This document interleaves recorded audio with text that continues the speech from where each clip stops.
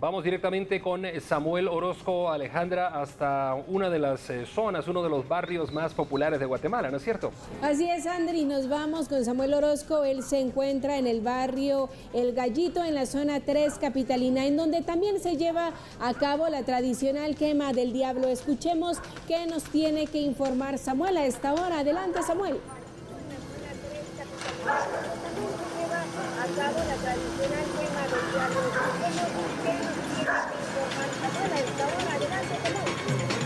Hola Andri, televidentes de TN Todo Noticias, buenas tardes. Ubicados en la 13 calle, séptima avenida del conocido barrio El Gallito.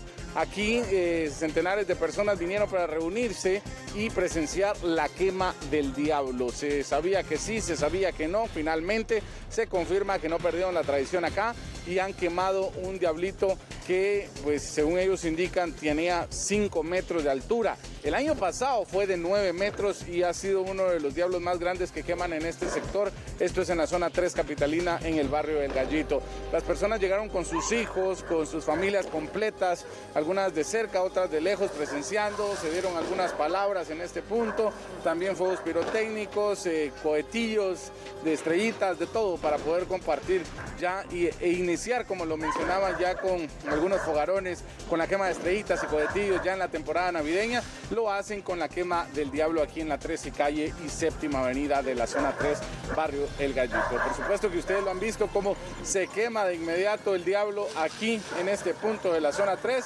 Ahora las familias pues ya todos con sus mascarillas y eh, pues tratando de resguardarse las medidas de bioseguridad, regresan a sus viviendas y pues algunos quedan todavía aquí para realizar deporte y otros puntos que la actividad continúa. Aquí donde yo estoy parado, ustedes logran observar, solo han quedado prácticamente los alambres de lo que era el diablito, imágenes que están siendo captadas por mi compañero Werner Álvarez. Soy Samuel Orozco, regreso contigo Andri.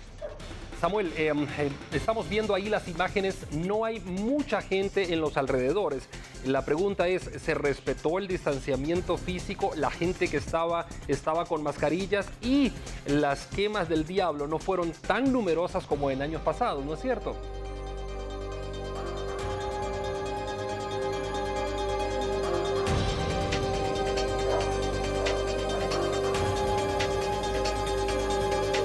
Bueno, uno de los temas importantes es, se hizo la recomendación para respetar el, distanciamiento social. Algunas personas atendieron este llamado, otras no. Es parte de esto, por supuesto. Sin embargo, se estuvo haciendo las recomendaciones. Algunos lo vieron desde su casa, otros decidieron quedarse un poco más atrás, otros pues decidieron tratar de guardar esto con el alcohol, el alcohol en gel, la mascarilla correspondiente y por supuesto que los encargados de este evento trataron de darle todo el realce posible a la actividad eh, como tal, pero pues habrá que esperar entonces cuáles son los resultados, por supuesto. Ahora, pues ya cada quien en su vivienda, ustedes están viendo ya casi vacío este sector. Bueno, muchas gracias Samuel Orozco desde la zona 3, barrio El Gallito. Hemos visto, Alejandra, varias, varios puntos de la ciudad de Guatemala, también Villanueva, en esta tarde con eh, motivo de la quema del diablo tradicional en el eh, país. Así es que, ¿te parece si hacemos una pausa? Por supuesto que sí, Andri, no sin antes mencionar que el paso de la Virgen de Concepción marca un evento muy importante y es que se trata de que coincide con los nueve meses del nacimiento de la Virgen María y la celebración del Adviento. Debido a esto, las personas creen que esto representa una lucha entre bien y el mal.